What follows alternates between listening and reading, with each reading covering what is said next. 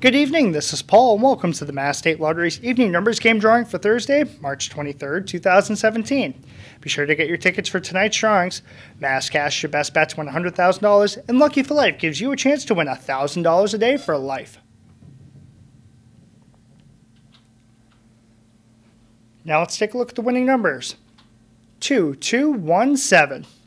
Once again, the winning evening numbers for Thursday, March 23rd are 2217. We'll see you later for the Mass Cash and Lucky for Life drawings. Good luck.